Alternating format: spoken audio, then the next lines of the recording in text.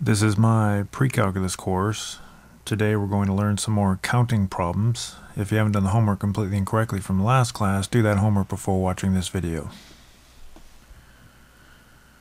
So in the previous class, we learned how uh, to use the multiplication rule to uh, count outcome variations.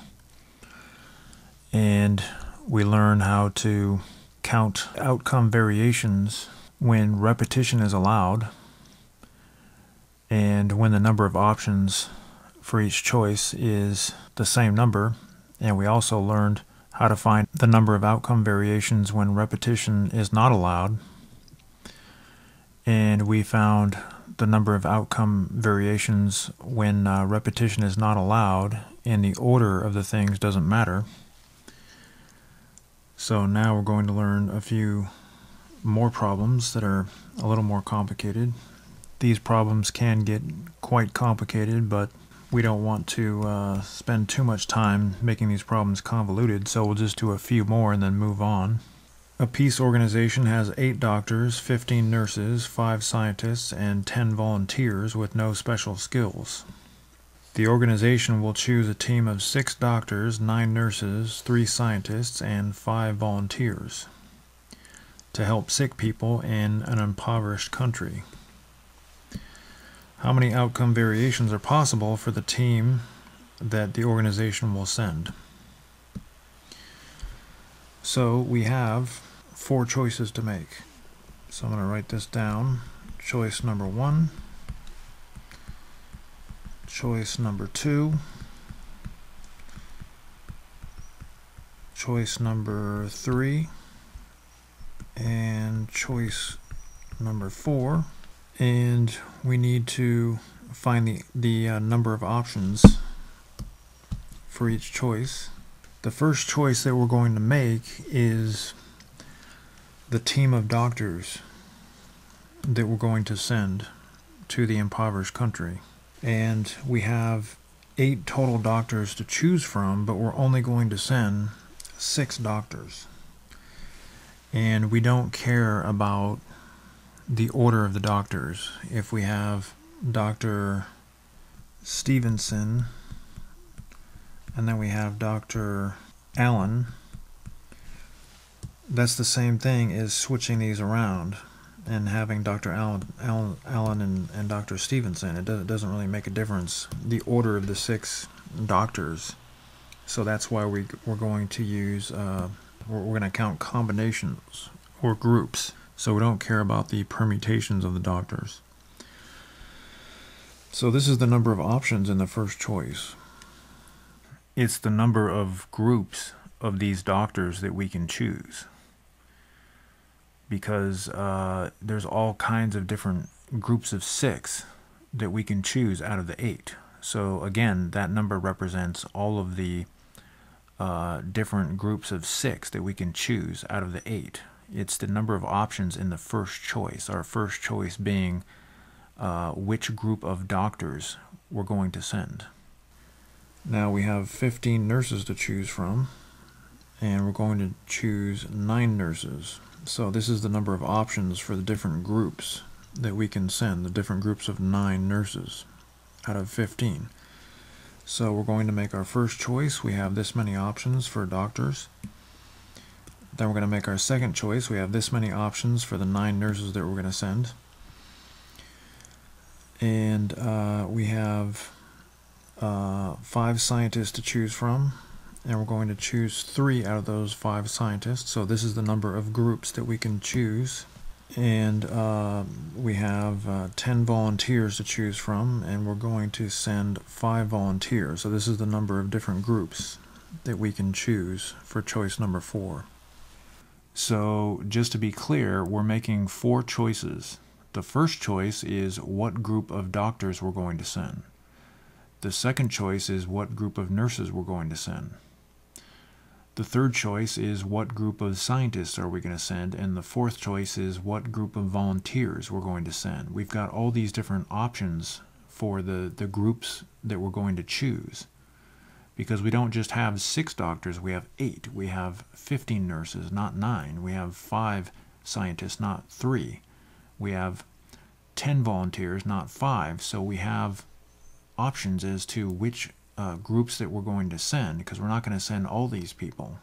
So remember in the previous class we did that problem where we had to choose the the type of cheese and there were three types of cheeses and then we had to type uh, we had to choose the type of bread. There were four types of bread and then we had to uh, choose the type of meat. There were two types of meat. So we have the first choice three options the second choice four options and the third choice two options we multiply all those together to get the total number of sandwich variations that are possible we're doing the same thing here we're multiplying the number of options for each choice. So I'm going to use a multiplication symbol. And it's easiest to go to the calculator to find these numbers. So I'm going to enter 8 in my TI-84 plus, then the math button, then the right arrow key to PRB, and then I'm going to do uh, press the down arrow key to uh, NCR and enter, and I'm going to enter 6. So in your calculator you should have 8 NCR 6 and then press enter and we get 28. So there's 28 options for uh, uh, groups of 6 doctors out of the 8 that we can choose from. And I'm going to do the same thing for the next number of options. We have 5,000 five different options of nine um, nurses that we can choose out of 15 and then uh, we have 10 uh, scientists or there's 10 groups of scientists that we can choose if we're going to choose three scientists out of five so 10 different options and then we have uh, 252 options of volunteers that we can choose, given that we're choosing five volunteers from from a pool of 10 people. And of course, we're multiplying all these. We're using the multiplication principle. So if we multiply all these numbers, we get 353 million. 152,800 outcome variations. So that is the answer. Let's try another one of these problems. Um, there are 28 band members at Rockridge High School, 33 at Sierra High, and 30 at El Dorado High. The band director from Rockridge will choose seven students to play in a district honor band. The Sierra band director will choose 10 students to play in this same honor band. And El Dorado, the El Dorado director will choose 12 students.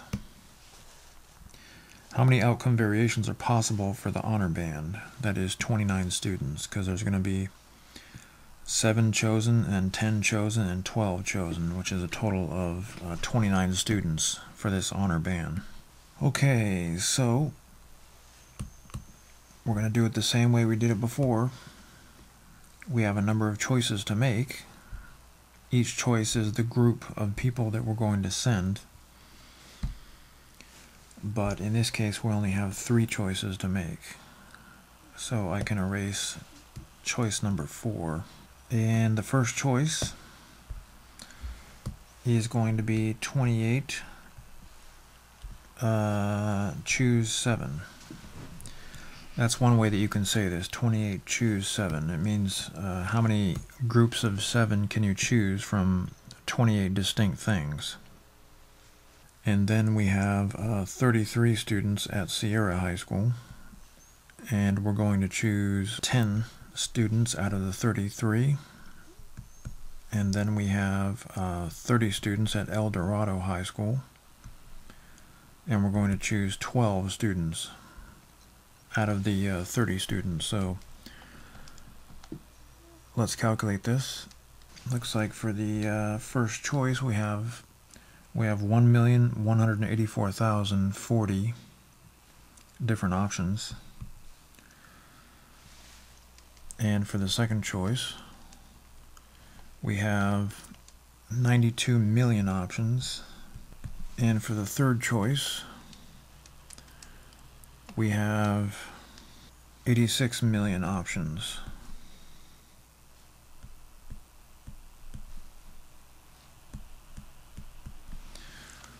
So we're going to multiply all these numbers together. Now this number is going to be so big that we're going to have to use something called scientific notation. So we're going to write 9.479 309 221 and it's going to say E21 in your calculator E21 so you'll see I'll make it red just so you can see it's going to say E and it's going to say 21 there so what that means is times 10 to the 21st power. And what that does is it makes it to where we don't have to write so many zeros. So when you multiply by 10 to the 21st power, you move the decimal 1, 2, 3, 4, 5, 6, 7, 8, 9, 10, 11, 12, 13, 14, 15, 16, 17, 18, 19, 20, 21 times to the right. So there should be uh, 12 more zeros here, but we don't have to, we don't want to write all those zeros. So scientific notation is a way to write really big numbers or really small numbers, in this case really big numbers. So that's how many outcome variations there are.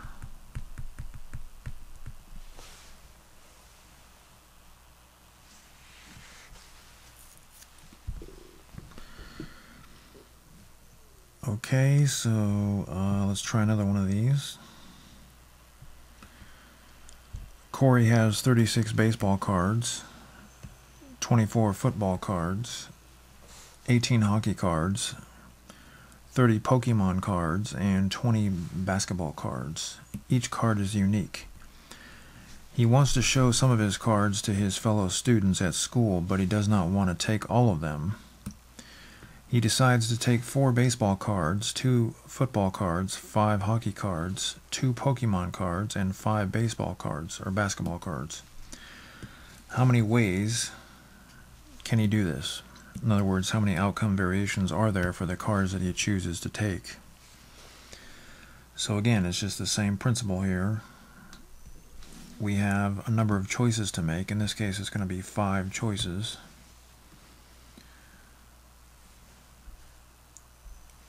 Because he's bringing quite a few different types of uh, cards.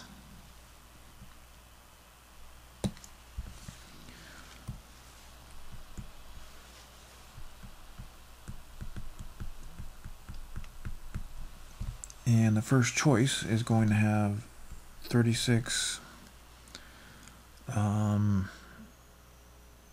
choose four. So he's going to choose four of the 36 baseball cards. And he's then going to choose two of the 24 football cards. And he's going to choose five of the eight, 18 hockey cards and he's going to choose uh, two of the 30 Pokemon cards. And then he's going to choose um,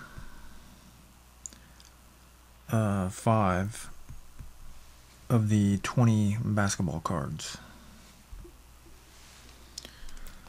So now let's go to the calculator.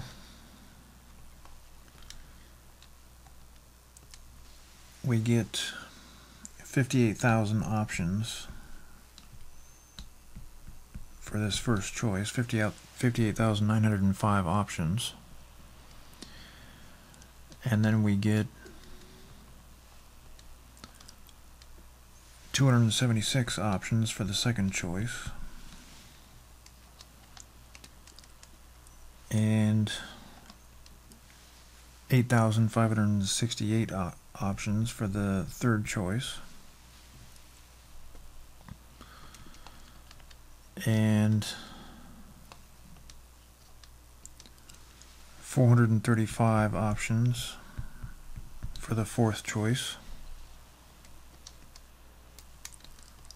And 15,504 options for the fifth choice. So now we're going to multiply all these numbers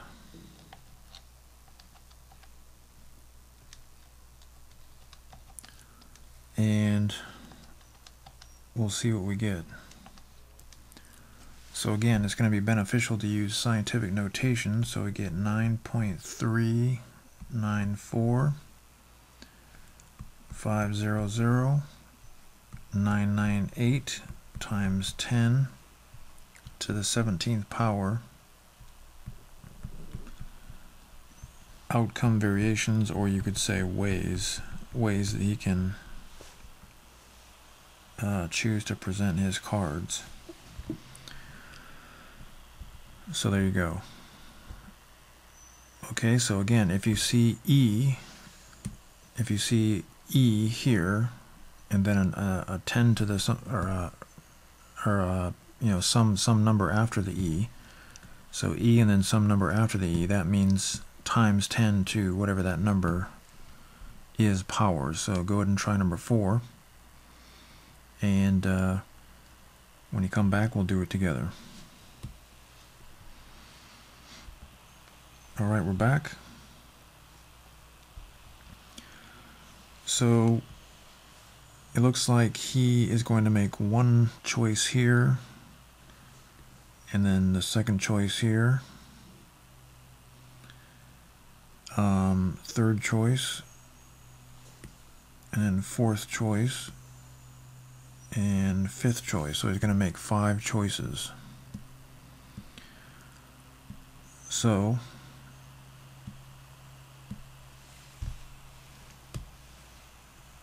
Let's bring our choices down here.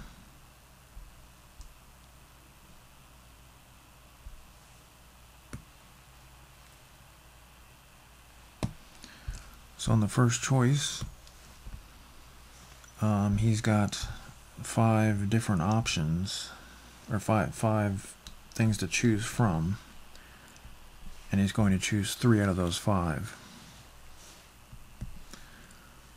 and uh, his mom said he can choose four new video games out of the ten that are available, um, or the the ten that he likes, and two places to order food out of the out of his six favorite restaurants. Um, and then three Muscle Man figures out of the ten available and and uh, five baseball cards out of the nine that he likes.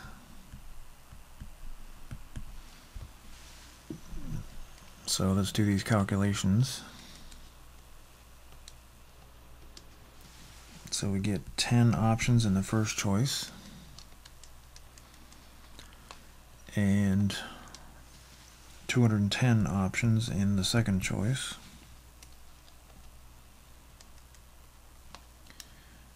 and then we get 15 options in the third choice. And then we get 120 options in the fourth choice.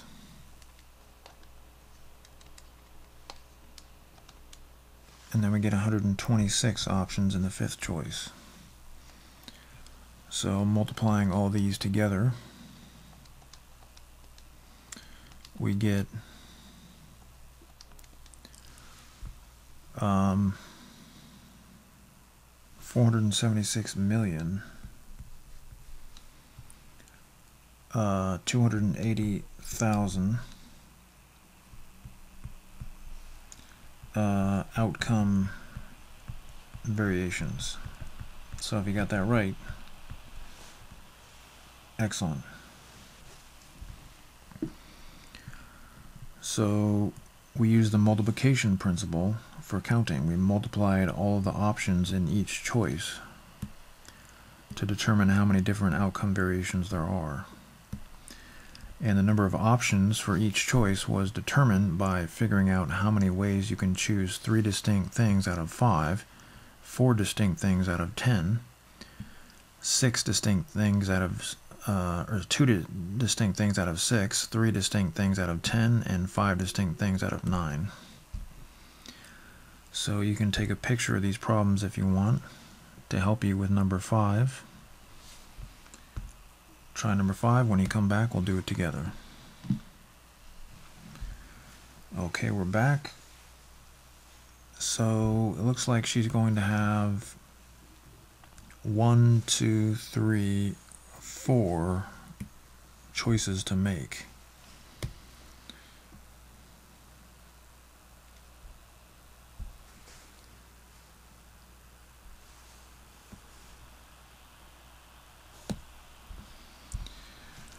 So the first choice is going to be uh, she's going to choose five pairs of pants out of the 12 that she owns. And then she's going to choose seven shirts out of the 21 that she owns. Then she's going to choose uh, four pairs of shoes um, from the nine that she owns and then she's going to choose three hats um, from the 13 that she owns. So let's calculate these numbers. So 12 choose 5, there's 792 different ways that she can choose um, 5 pairs of pants out of 12. And there's 116,280 different ways that she can choose seven shirts out of uh, 21 possible. And again, the, the shirts are, are assumed to be all distinct and all different. And then there's 126 different ways that she can choose um, four pairs of shoes out of the nine pairs that she has. And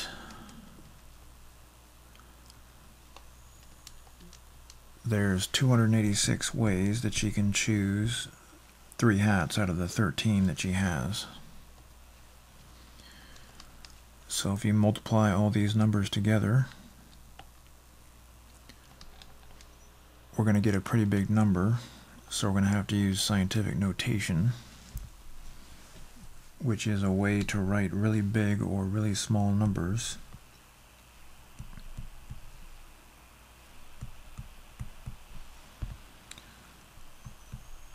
By using 10 to some power.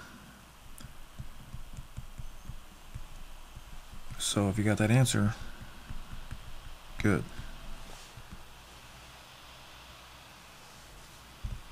So 3.318690735 times 10 to the 12th power. Okay, so I want you to try number 6. And when you come back, we'll do it together. Okay, we're back. Um, so it looks like we have three options, or excuse me, three choices to make in this last problem.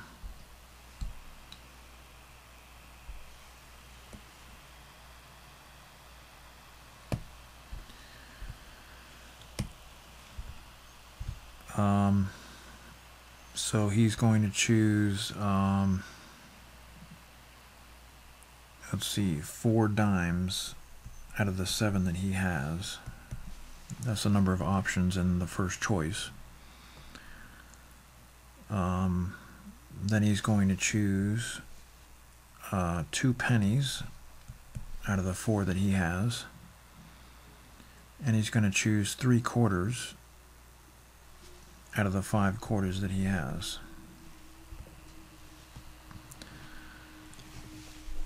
Okay, so let's calculate these numbers.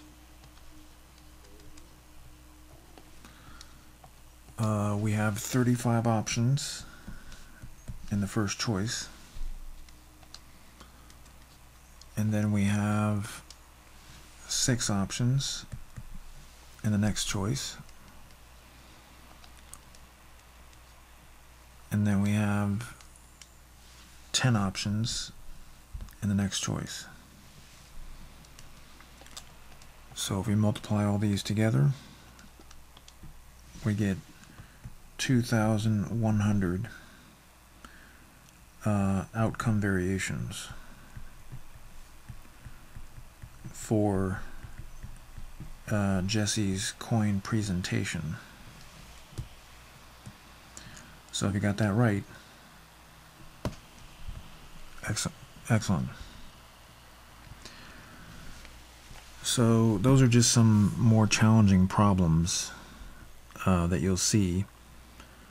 We could do some problems where we had to count permutations or some problems where repetition was allowed but those problems become very difficult to write and so you're probably not going to see those very often we just used uh, or we did problems with groups. So we wrote C instead of P.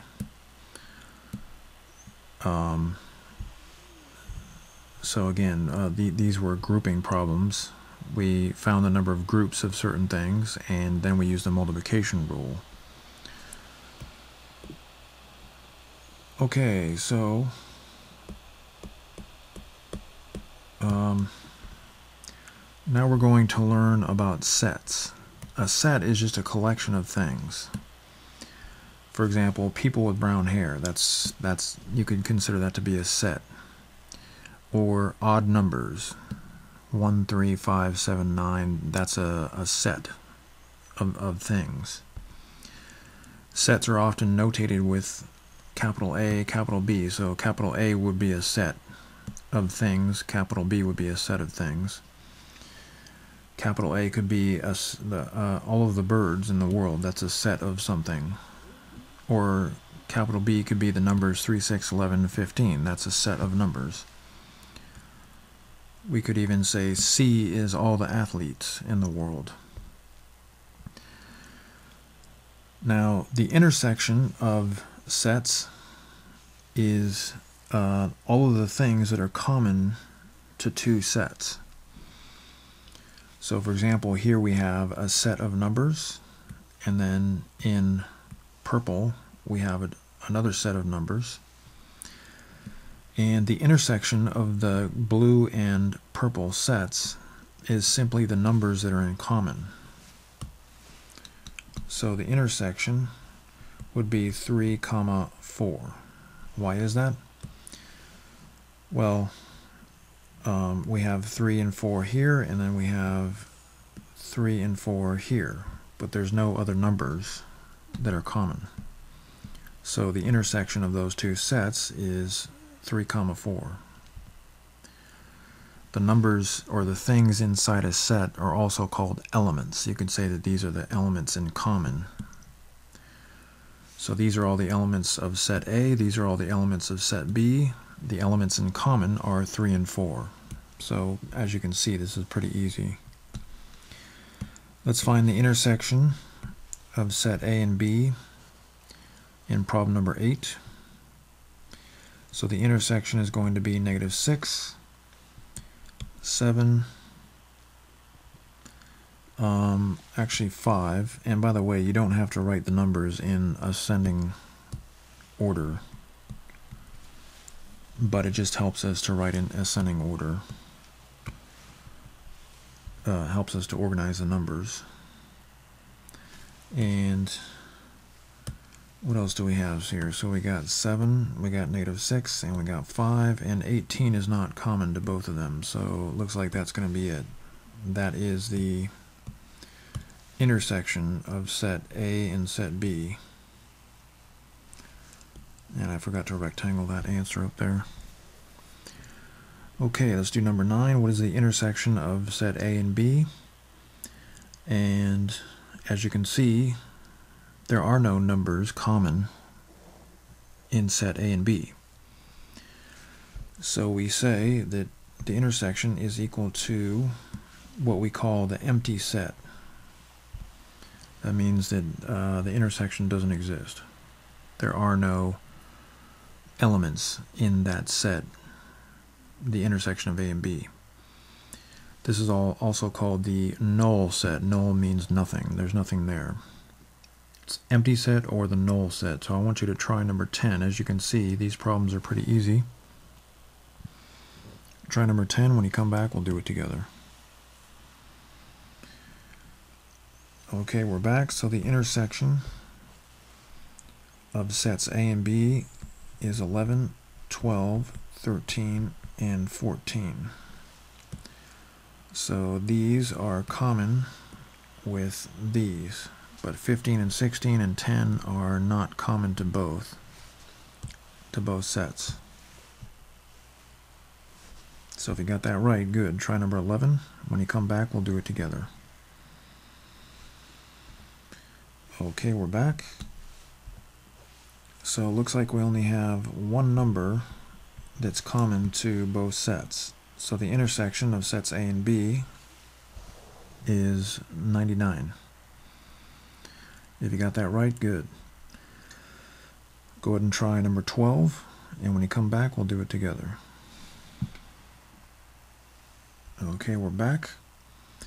So it looks like the intersection is going to be 80 and 81.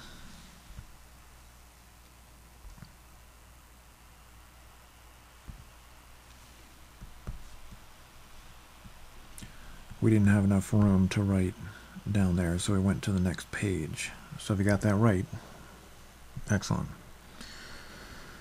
Okay, so we learned the intersection of sets. That's the, the things that are common in two sets.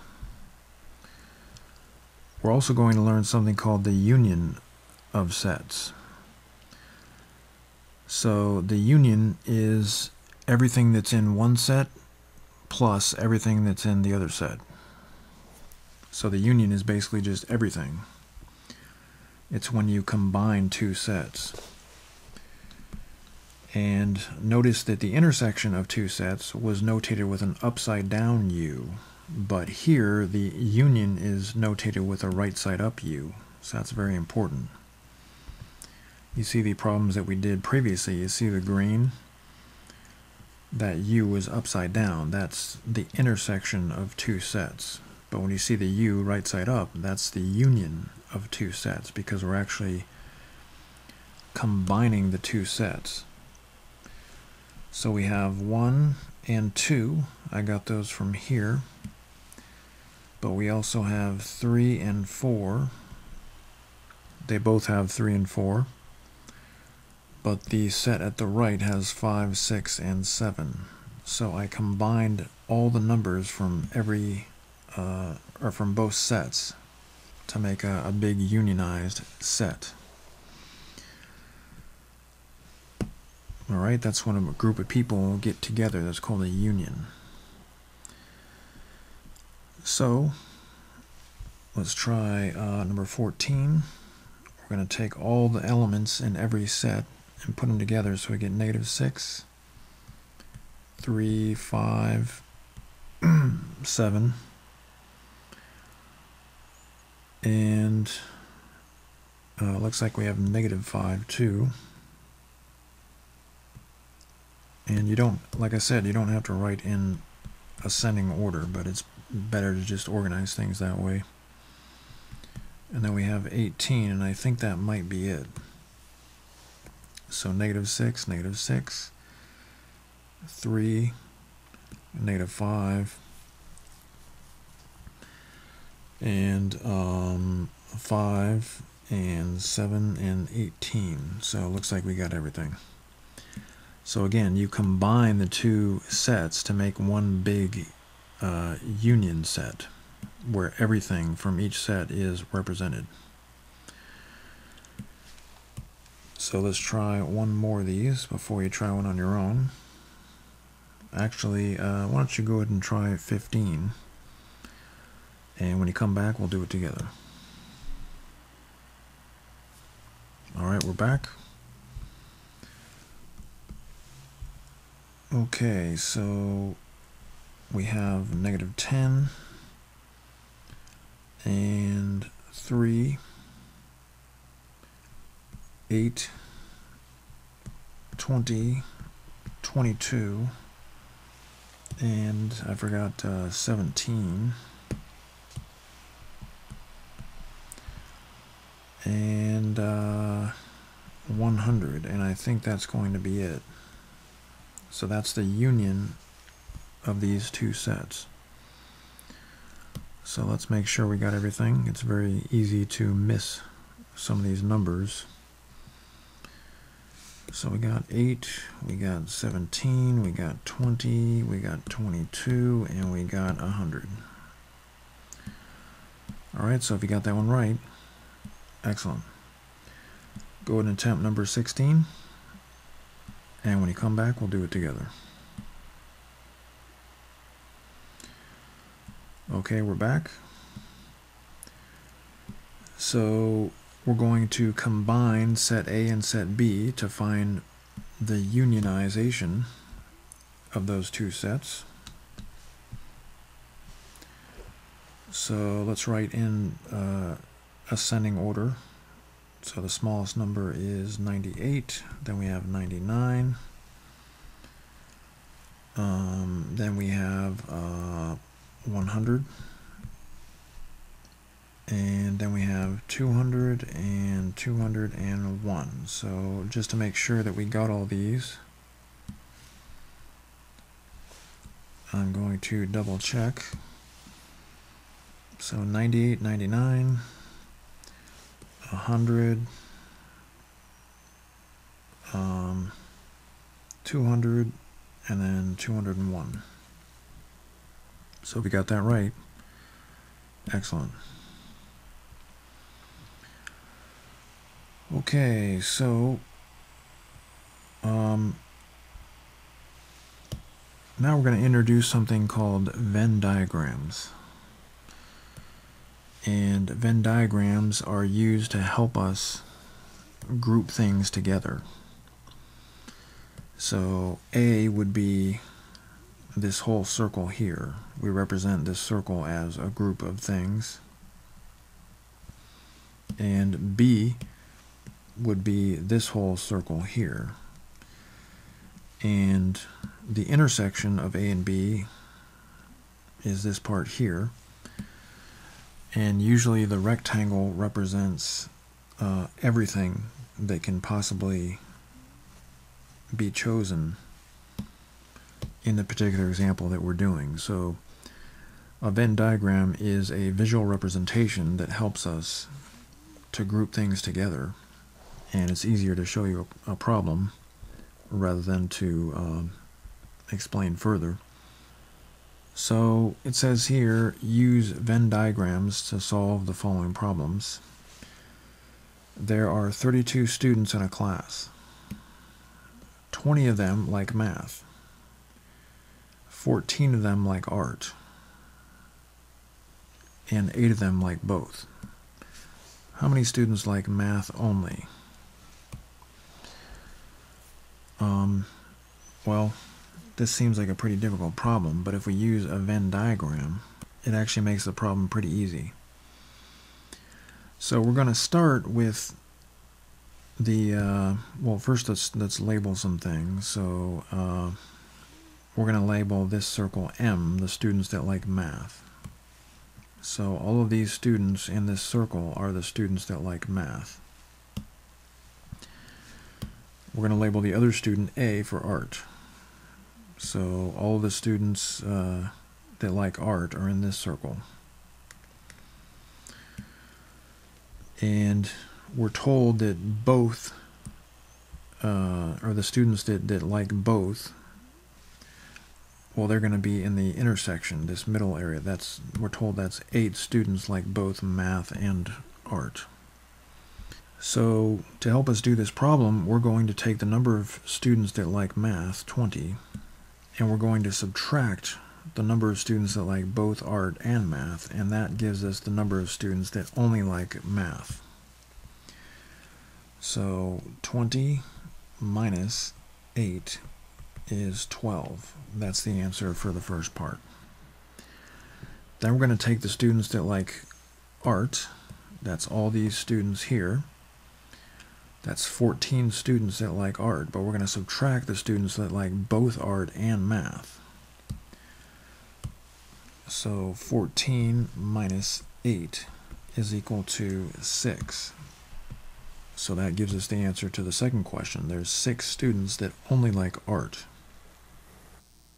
Now, notice that the sizes of the circles are not proportional to the numbers of students that the circles represent. So uh, the areas of the circles and the rectangle uh, are not going to be proportional to the number of students in them. That's not the point of Venn diagrams. The point of Venn diagrams is simply to keep track of how many things are in each group. We don't care about uh, proportionality when it comes to uh, Venn diagrams. And then we're asked how many students like either math or art. So that's where we use the equation that we learned up here. But we don't really need to use the equation. We can just add up the, these numbers. So 12 plus 8 plus 6 is equal to 28 students, or excuse me, 26 students that like either math or art. It's very important to understand that in counting and probability, the words and and or mean very specific things.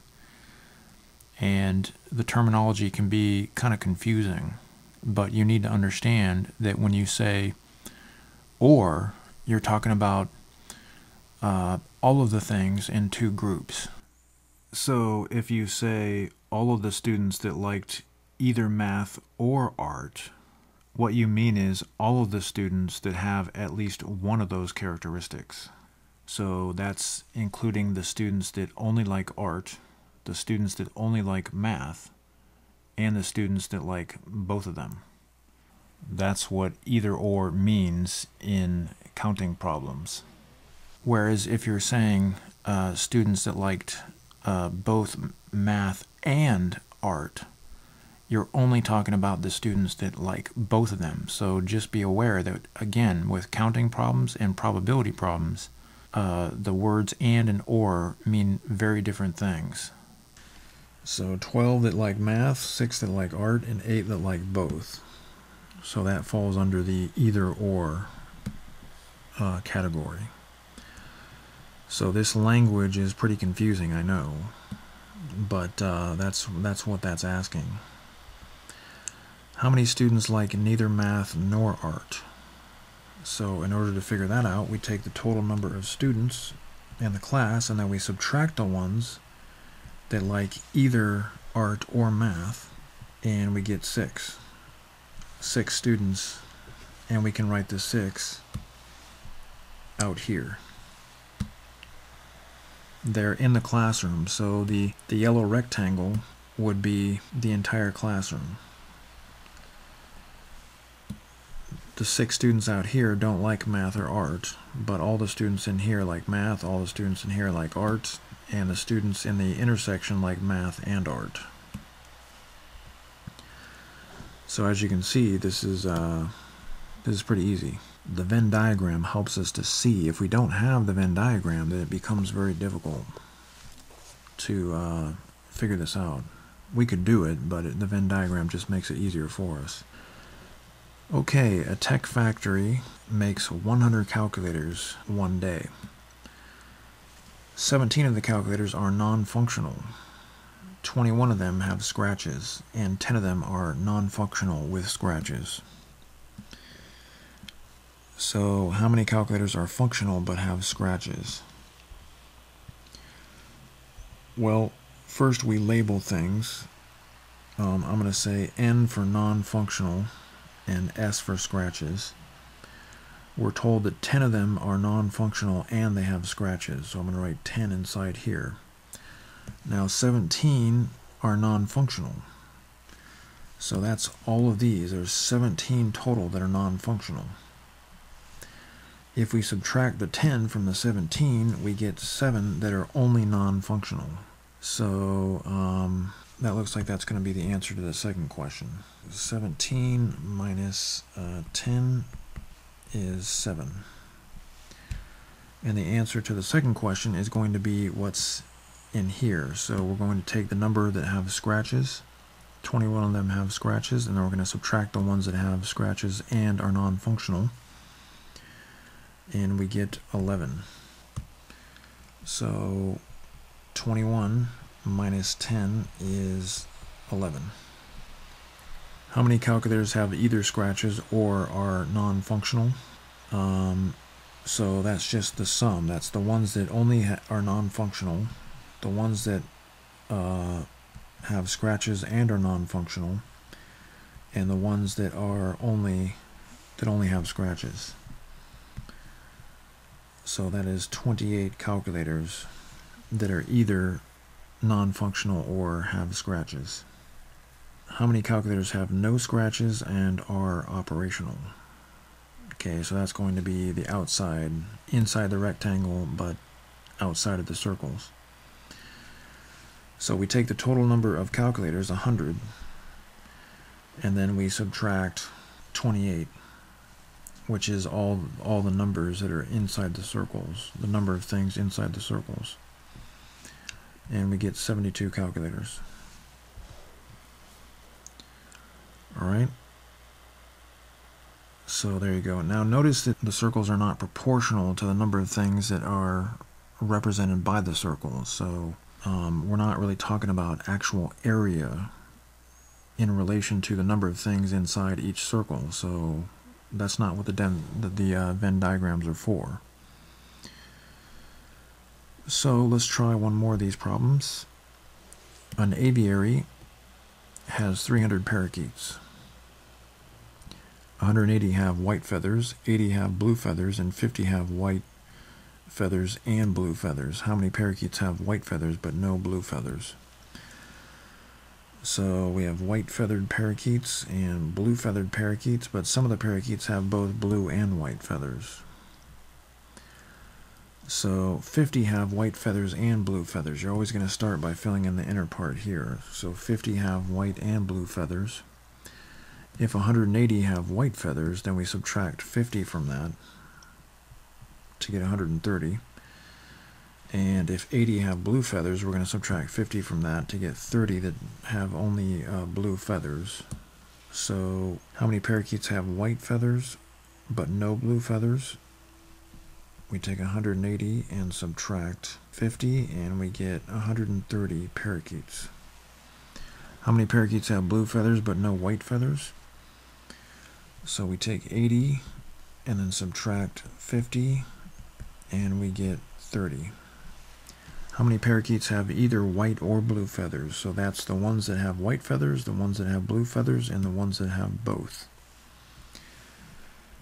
So 130 plus 50 plus 30 is equal to 210 parakeets. Alright, and how many parakeets have no white or blue feathers? So in order to find that, we take the total number of parakeets in the aviary and subtract 210. Because 210 represents all of the parakeets that have white or blue feathers. And we get 90. So there you go. Okay, so you can take a picture of these pages if you'd like. Take a picture of that page and a picture of that page and a picture of this page to help you. Try number 20. When you come back, we'll do it together. Okay, we're back. So let's fill in our Venn diagram. So cruise control and sunroofs. And 20 of them have both cruise control and sunroof. So always start with the intersection. how many trucks have sunroofs but no cruise control. So we're going to take uh, 28, 28 trucks that have uh, sunroofs, and we're going to subtract the ones that have sunroofs and cruise control, and we get eight trucks that have only uh, sunroofs. So then we're going to uh, take the total number of trucks that have cruise control, which is 109, and then we're going to subtract the ones that have cru cruise control and sunroofs. And then we get um, 89 trucks that have only cruise control. We want to know how many trucks have either sunroofs or cruise control, so we just add those up. So we have 89 plus 20 plus 8 is equal to, looks like 117 trucks. Now we need to know how many trucks have neither sunroofs nor cruise control. So we simply take the total number of trucks, 207, and we subtract 117, the number of trucks that have either or. So 207 minus 117 is 90. 90 trucks. Just so happened that we got a the same number in the previous problem. That was a coincidence. Okay, so if you got those answers, excellent. Go ahead and try number 21, and when you come back, we'll do it together. Okay, we're back. So, some of these family members skied, and some of them uh, fished. Um, 10 did both. So 19 skied. So if we subtract 10 from 19, we get 9. If we subtract uh, 10 from 15, we get 5. So 19 minus 10 is 9. And 15 minus 10 is 5. How many family, family members either fished or skied? So that would be 9 plus 10 plus 5 is 24. How many family members neither fished nor skied? Take the total number of family members and subtract those that either fished or skied. And we get 12. So if you got that right, excellent. Go ahead and try number 22. And when you come back, we'll do it together. Okay, we're back. So we have students that like peanut butter and students that like jelly. How many students like peanut butter but not jelly? Well, that's right the intersection. 14 like both. 78 like peanut butter. So if we subtract 14 from 78, we'll get uh, 60, 64. And if we subtract 24, or subtract uh, 14 from 24, we get uh, 10. So 78 minus um, 14 is 64 and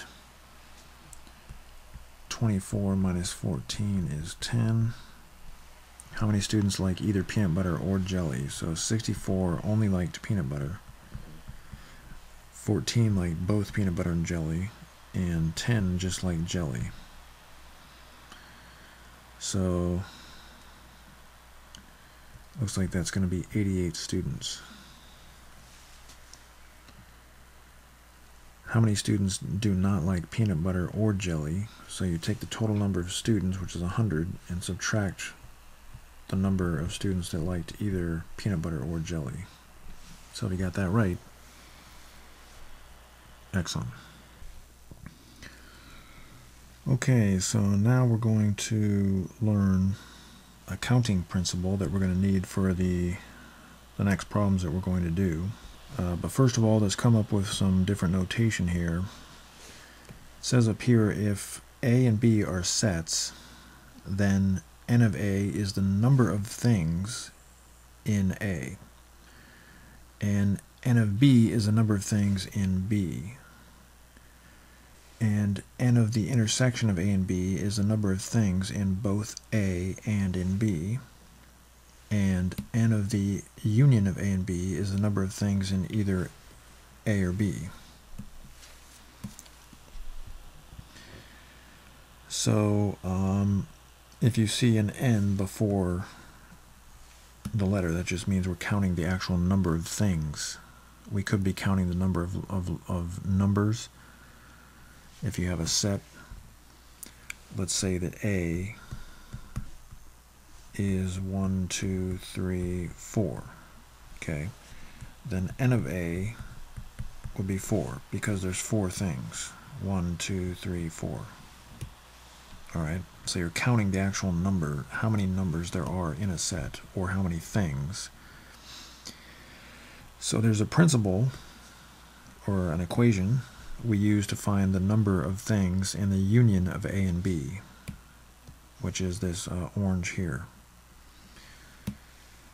So the number of things in either A or B is equal to the number of things in A plus the number of things in B minus the intersection. Now, why did we have to subtract the intersection? Well, because notice that we counted the intersection of A and B here, and we counted it here. We counted it twice. So we don't want to count things twice. So we are just finding uh, the number of things in the the union of A and B. Uh, we're not trying to you know count things more than once. So we're going to use that formula in the next problem. A school requires every student to choose at least one area of science to study. There are 350 students at the school. 200 of them chose either biology or physics. 110 of them chose biology, and 136 chose physics. How many students chose neither physics nor biology? So the 200 represents every single student that chose one of these uh, two fields of study. So if we subtract 200 from the total number of students, that's going to be the students that chose neither neither of those uh, two uh, areas of study. And so now it wants to know how many students chose both physics and biology. Now this may not be exactly obvious, so we're going to use our formula down here. So the uh, number of students that chose um, either biology or physics the union of those two things is equal to uh, the number of students that chose biology plus the number of students that chose physics minus the number of students that chose both biology and physics. We're looking for this value here. So let's fill in what we know. We know that uh, 200 of them chose either biology or physics. That number represents all of the students that chose at least one of these two subjects. And we also know that uh, 110 of the students chose biology and 136 chose uh, physics. So again, we're looking for the number of students that chose both biology and physics. So we have 246 minus the number of students that chose both subjects, subtract 246 from both sides, and divide both sides by negative 1 and we see that the number of students that chose both biology and physics is 46. 46 uh, students chose both. So now the problem wants to know how many students chose biology but not physics. And in order to do this, it may be helpful for us to draw a, a Venn diagram.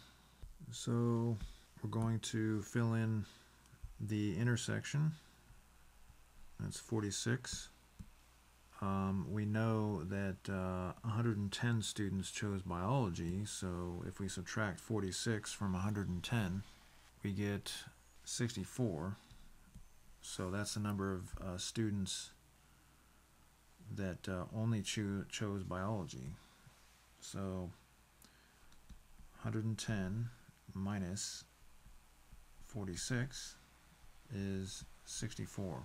How many students chose physics but not biology? Well, we just take the number of students that chose physics and then subtract the number of students that chose both.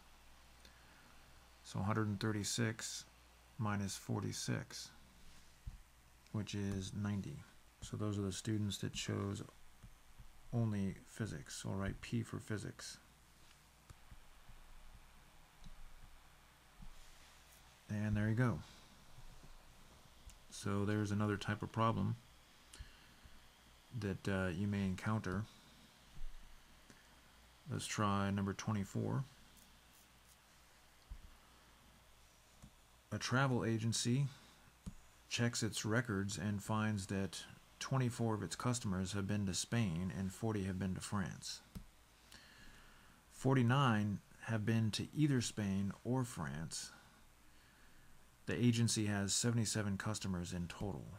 How many customers have been to neither Spain nor France? Well, we just take the total number of uh, customers and subtract the number of customers that have been to one of those two countries, which is the, the customers that have been to either Spain or France.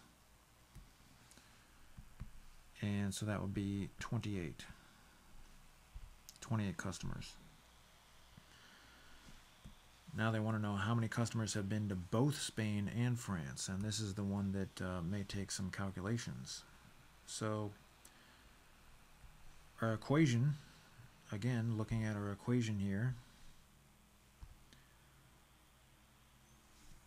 the number of customers that uh, have been to Spain or France, either or, one of those two countries is equal to the number of customers that have been to Spain plus a number of customers that have been to France uh, minus the number of customers that have been to both Spain and France because you're counting those customers twice when you add up this sum.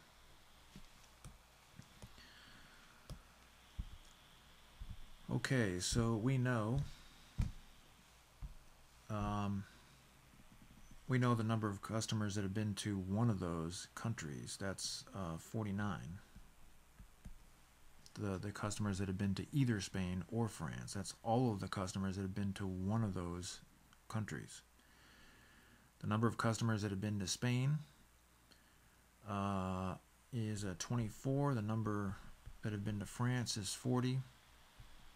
And so all we have to do at this point is solve for the unknown, and then we're done. So we have 49 is equal to 64 uh, minus the number of customers that have been to Spain and France. Subtract and we get negative 15 is equal to negative the number of customers that have been to Spain and France. So now we just divide both sides by negative 1 and let's move this up a little bit. And we see that the number of customers that have been to both Spain and France is 15. Now we can use that with a Venn diagram to answer the rest of the problem. How many customers traveled to Spain but not France? So let's label this Spain and this France. And the number of customers that had been to both we just found is 15 in part 2. Um, so how many customers traveled to Spain but not France? So you take the total number of customers that have traveled to uh, Spain, which is 24, and subtract 15, and we get 9. So 24 minus 15 is 9. How many customers have traveled to France but not Spain? So take the total number of customers that have traveled to France, which is 40, and then subtract 15, and we get 25. So the answer is 40 minus 15, which is 25 customers. So there you go. You can take a picture of these problems if you'd like to help you.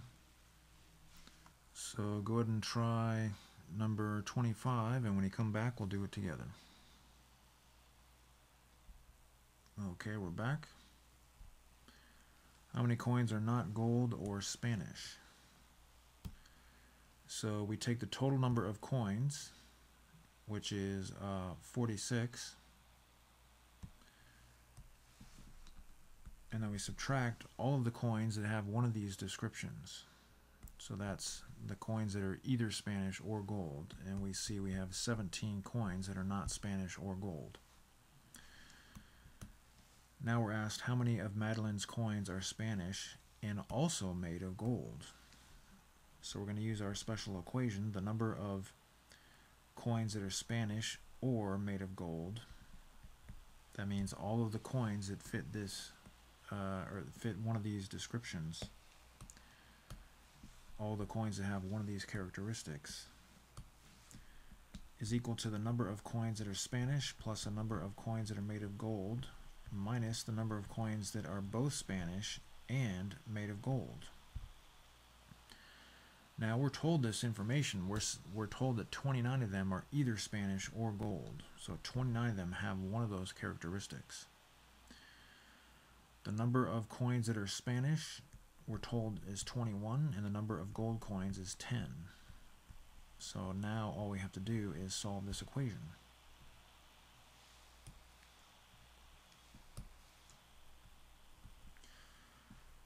So we have 29 is equal to 31 minus the number of coins that are both Spanish and made of gold. Subtract and we get negative 2 is equal to the negative of the missing value that we're looking for. And divide both sides by negative 1. And we have the number of coins that are both Spanish and gold.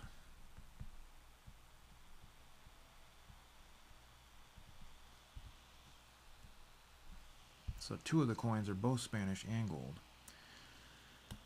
So now we're asked how many coins are Spanish but not made of gold. So we can use a Venn diagram to help us. We know that two of the coins are both Spanish and gold. And we know that 21 of the coins are Spanish. So if we subtract 2, we get 19 coins are just Spanish. They're not they're not gold.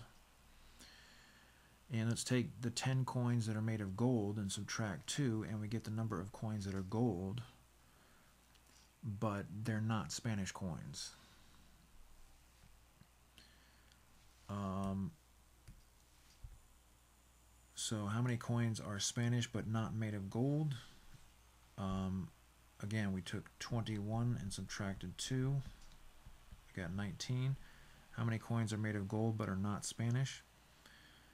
We took the total number of gold coins and subtracted the number of gold coins that are that are Spanish, and we get the number of uh, coins that are gold but not Spanish. So if you got those right, excellent. Okay, go ahead and try number 26, and when you come back, we'll do it together. Okay, we're back. So uh, the restaurant serves 18 types of food, and we know that 16 types have either wheat or beef, which means that there's only two types of food that don't have wheat or beef. How many types of food contain both wheat and beef? So again, using our formula, the number of types of food that contain both wheat, or excuse me, the number of types of uh, food that contain wheat or beef is equal to the number of types of food that contain wheat plus the number of types of food that contain beef minus the number of types of food that contain both wheat and beef. So we're given this information. We're told that 16 types have either of those. So 16 types have one of those descriptions, wheat or, or made, of, made of wheat or made of beef. The number of types of food that are made of wheat, we're told, uh, is 9. 9 types have wheat and 12 types have beef. So now all we have to do is solve the equation.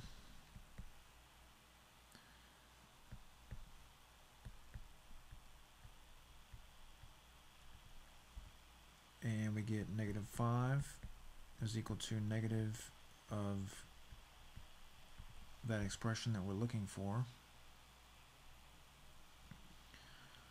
Um, divide both sides by negative 1 and we see that there are five types of food that are made of both wheat and beef. So we can draw the intersection there. How many types of food contain wheat but not beef. Wheat but not beef.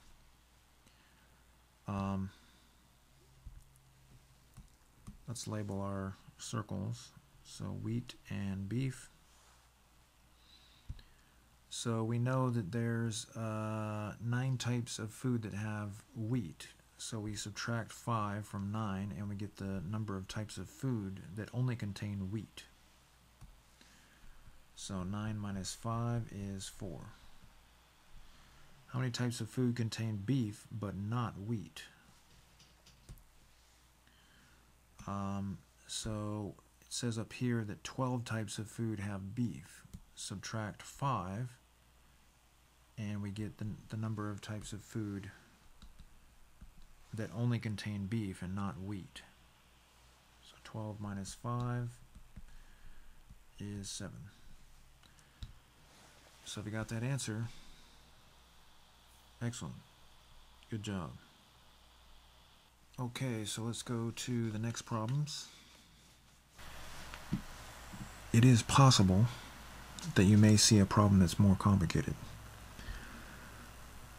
And these problems really are very, very difficult to, to uh, understand in our mind. So a Venn diagram is going to be particularly useful with these. There's 105 farms in the county of Petersburg. 37 of them have cows. 30 of them have chickens. 15 of them have horses and chickens. 12 of them have horses and cows. 8 of them have cows and chickens. Six of them have all three, meaning they have cows, chickens, and horses. 18 farms don't have cows, chickens, or horses. How many farms have horses only, meaning horses but no chickens or cows? So, how in the world are we supposed to remember all this? Well, that's not very likely, right? That's where a Venn diagram comes into play. So let's label this. We got cows, and we got chickens, and we have horses. Remember, you always start with the intersection. So it says, Um, eight of eight of the farms have cows. Uh, actually, six of them. Six of them have all three. So that's going to go in there. That's where we always start. We always start with the intersection. Okay, and it says um, we we can kind of work backwards here. So eight of the farms have cows and chickens eight of the farms have cows and chickens. So that's this part here should be eight. That should be a total of eight. But we already have six here. So in order for it to be total of eight, you need two farms in there. Okay, so now let's look at this part. 12 of the farms have horses and cows. 12 of the farms have horses and cows. So that's this part here. The intersection of the horses and the cows must be 12, but it only has 6 there, so we need 6 more. Okay, and what else do we have here? It says 15 of the farms have horses and chickens. 15 of the farms have horses and chickens, so that's this region here, the intersection there. That's 15 total, but we already have 6 in there, so we need 9 more for a total of 15. You see how easy the Venn diagram makes this? So, um, now we're told that uh, 37 of the farms have cows. So all the numbers in this circle have to add up to 37. But we've already got 2, 6, 6. That's a total of 14. So 37 minus 14 is 23. We're told that 30 of, of the farms have chickens, uh, have, have chickens. So this circle has to have a total of 30 farms in it. It already has 2, 6, 9, that would be uh, 17. So we take the 30 farms that have chickens and subtract 17, and we get 13 farms that only have chickens. So 20 farms only have cows, 13 only have chickens. And uh, now we're asked to find how many farms have horses only. Well, obviously that would just be this part down here. Um, now, we're told that 18 farms do not have cows, chickens, or horses. So that means 18 goes in the rectangle. Okay, so in order to find the number of uh, farms that only have horses, we have to take the uh, total number of farms 105. Subtract those that don't have horses or cows or chickens. And subtract the ones that only have cows. Subtract the ones that have only chickens. And basically just subtract every single one of these numbers. And that will leave you with the farms that only have horses. So 105 minus 18 minus 23 minus 13 minus 6 minus 6 minus 2 minus 9 gives us 28 farms that only have horses. So I know that seemed kind of complicated, but again, with the Venn diagram, it's really not that difficult. And I'm going to write uh, 28 because that was our answer.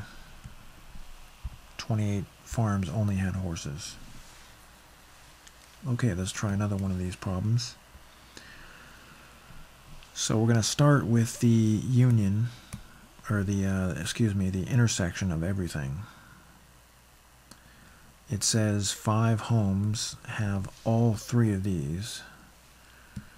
And what are the three things that they have?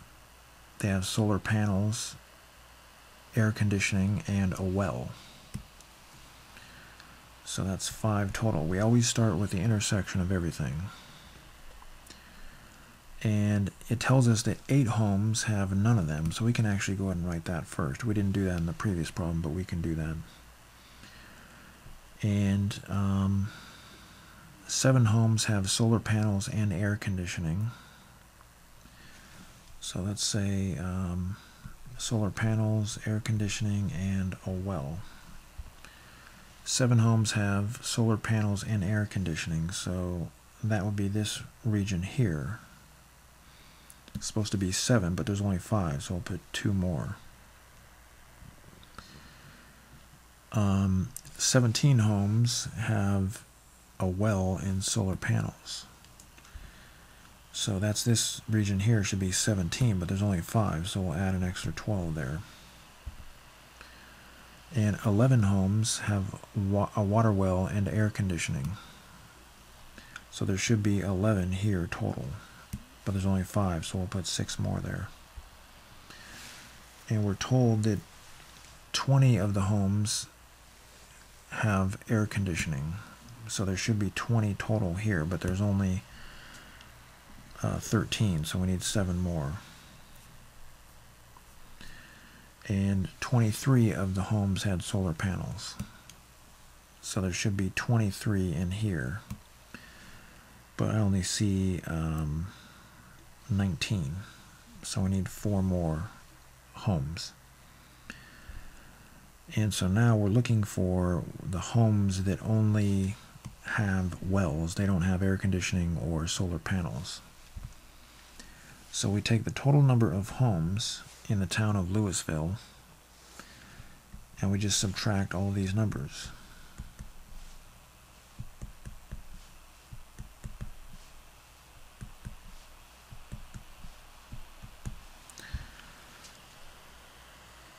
So there should be one, two, three, four, five, six, seven numbers that we're subtracting.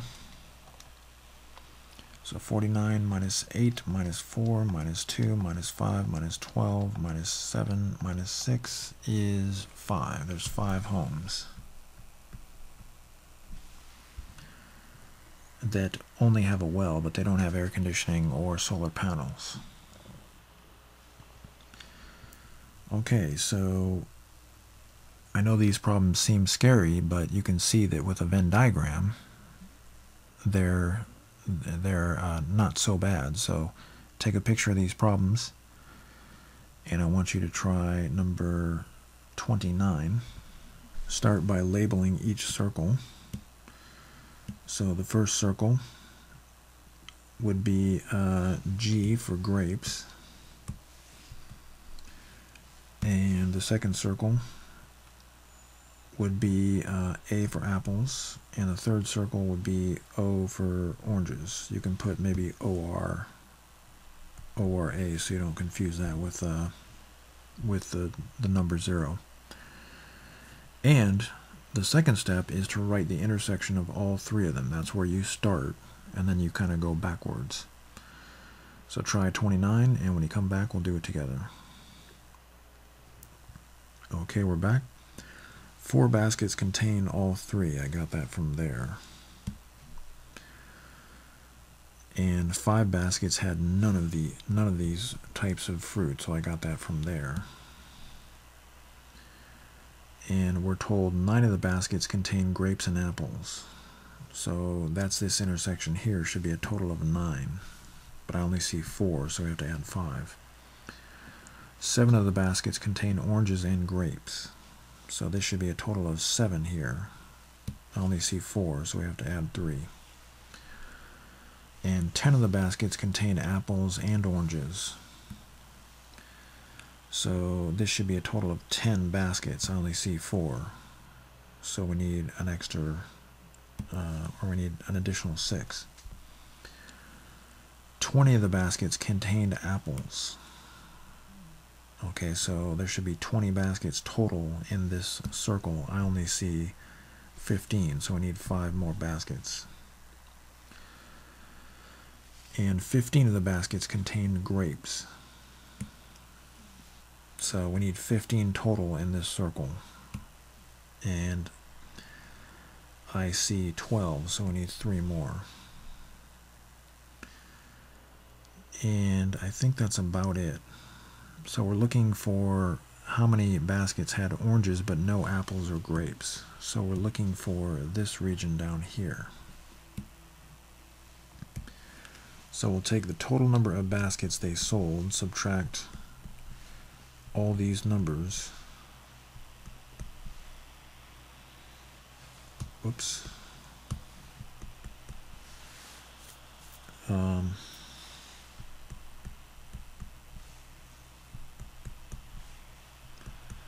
see a lot of fives here, so so I count seven numbers. One, two, three, four, five, six, seven numbers. That should be right. So 36 minus 5 minus 3 minus 5 minus 3 minus 4 minus 5 minus 6 is 5. Five baskets contained oranges, but no apples or grapes. So if you got that right, excellent. Okay, go ahead and try number 30. And when you come back, we'll do it together. All right, we're back. So 16 pizzas had none of the toppings. Um, 13 pizzas had all three of the toppings. And 25 had pepperonis and mushrooms, and let's write the uh, let's label everything first. Probably we should do that. So pepperoni, mushrooms, and sausage. So 25 had pepperonis and mushrooms. So that should be here, 25 total in there, but I only see 13. So we need 12 more. 21 had sausage and mushrooms. So this is 21 total here, but I only see 13. So we need eight more there. 39 had uh, uh, mushrooms. Um,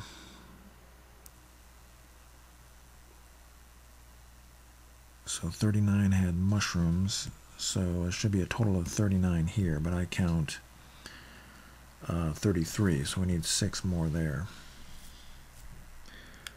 Um, and 54 of the pizzas had pepperonis on them. Now I notice we're missing a region here, so let me go back. Uh, 20 of them had pepperonis and sausage. That's the one I missed. So we should have 20 here. So we need 7 to make it a total of 20. 54 of the pizzas had pepperonis on them. So we should have 54 total in this circle but I see um, 32.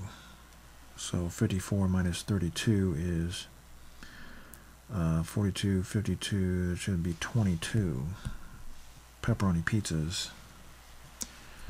Pizzas that only had pepperonis and not the other toppings.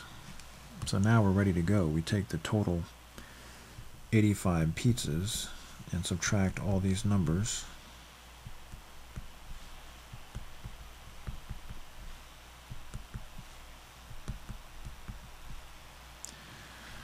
And we should have our answer.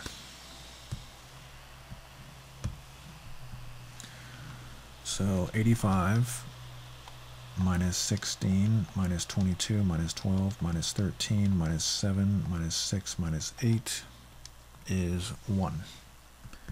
There's actually only one pizza that has only sausage and nothing else. So if you got that right, excellent.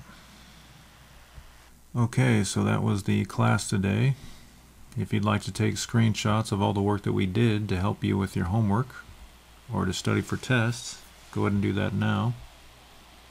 Here's screenshot number one and number two, number three, number four, number 5 and number 6 and number 7, number 8, and number 9, and number 10, but don't go before you get your homework. Let's take a look at the homework. Remember, the homework is not optional. Here's screenshot number one of the homework. And number two. And number three. And number four. And number five. But don't go before you get the answers. Here's the answers. So be sure to do that homework completely and correctly. Remember, it's not enough just to attempt the homework, it must be done correctly, which is why you have to check your answers. And if you get the wrong answer, go back and figure out what you did wrong. And I'll look forward to seeing you in the next class.